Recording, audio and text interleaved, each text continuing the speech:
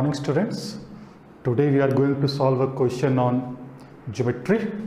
Uh, I'll just narrate the question to you. Uh, ABCD is a isosceles trapezium which is inscribed in a circle. AB, AD is the base of the trapezium as well as the diameter of the semicircle whose length is 8 and the equal sides are 2 each. You need to find the value of BC. We'll be solving this question by three method. Uh, let us start the easiest one which you all will understand.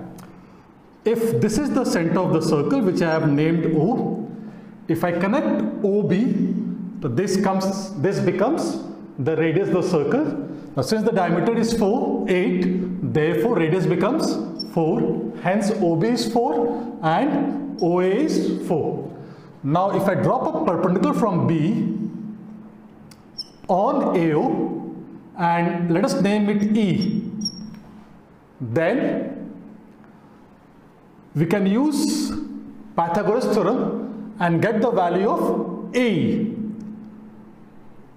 If we get the value of AE, exactly similarly, we can get the we can drop a pattern from C and let us name it F. So A will be equal to DF since it is an isosceles trapezium. Let us first find A. Now if this is H, using Pythagoras theorem, 2 square is equal to H square plus A square. Simple Pythagoras theorem. Now in this triangle, let us again apply Pythagoras theorem. So 4 square is equal to again h square plus OA minus AE ka whole square. And I know OA, OA is how much? 4. So substituting 4 here, 4 minus AE ka whole square. Now if I solve these two equations, I get the value of H as 1 by 2.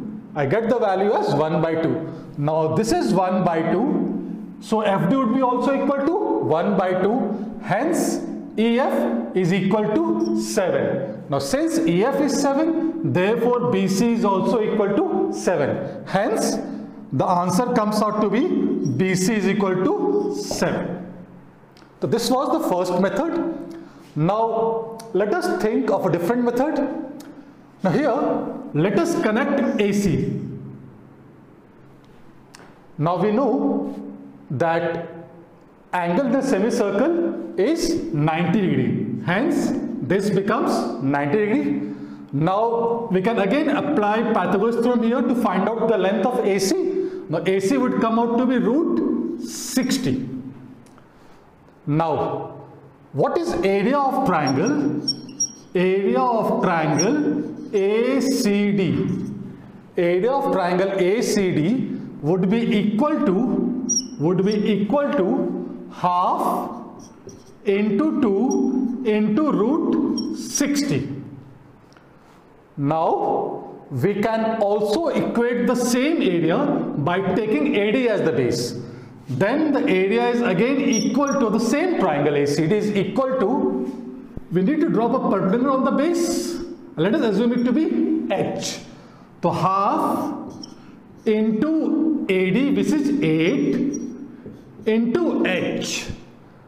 Fine. Solving these two we get h is equal to root 60 by 4.